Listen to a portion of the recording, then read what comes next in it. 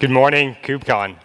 Uh, it is crazy to see so many faces here. Um, as Dan said, uh, I've been to a few of these now, and um, it is really inspiring to see so many people here today. So um, it is pretty clear what has already happened, so I won't uh, belabor the point. Um, Rocket is joining CNCF, and what I wanted to do was give a little context on where Rocket has been and where it's going.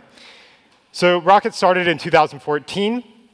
Uh, and then hit a 1.0 in 2016 as it got a number of different production use cases um, under its belt.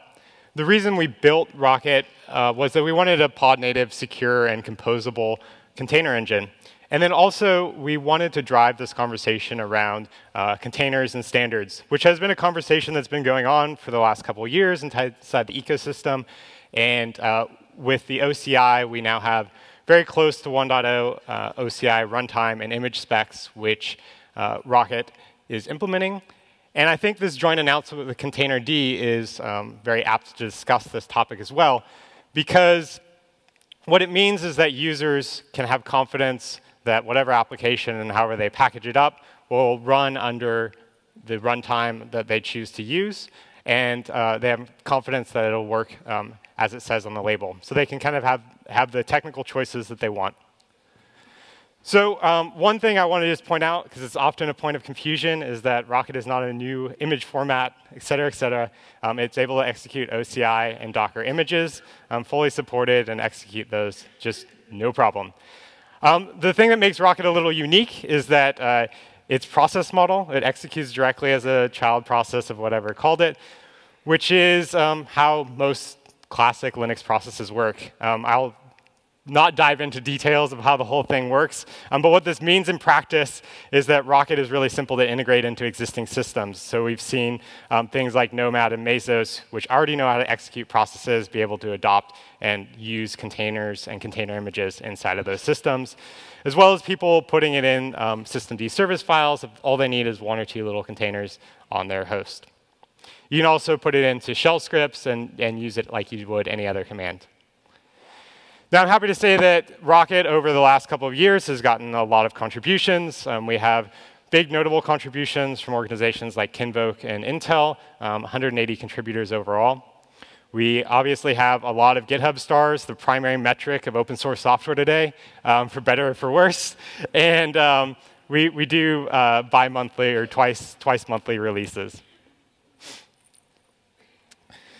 So the reason that we're excited to put Rocket into the CNCF is that it's a neutral and respected home for open source projects, and we hope that it will expand our contributor base. And then, as has been mentioned a few times already this morning, uh, containers are really the foundation of cloud native. Um, they are the unit of compute that allows it allows applications to be ran on virtual machines and hybrid cloud on bare metal. And so having these technologies in the cloud native computing foundation makes a lot of sense. Um, Rocket also uses some of the CNCF technologies like gRPC uh, as its RPC system. Um, it also today, there's been some talk about how um, we've helped through the Rocket project drive a few different initiatives inside of Kubernetes, one of which is that uh, with Minikube and uh, Kubernetes today, you're able to run almost a fully working Kubernetes system using Rocket as the execution engine underneath. Um, we have 84 out of 89 of those tests, the conformance tests passing today, and we would love all of your help to get 100%. Um, the reason that there's five left is some things are tricky. Um, so uh, Rocket can run on top of any Linux distro. So uh, if you're using Linux, can I get a show of hands of people who use Linux in the room? If you're using Linux, you're able to get Rocket running on your system. We build RPMs and debs on every release. And then there's native packages for pretty much everything, uh, including distros that I hadn't heard about until I read the docs on the native packages, like Void Linux. Um, so what's next? We hope to foster further interoperability of containers with uh, Kubernetes and our work in the OCI.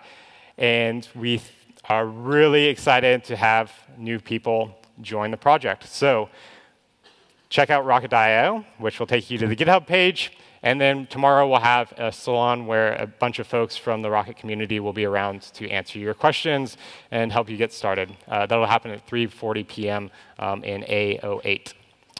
So continue the conversation and please join us. Thanks.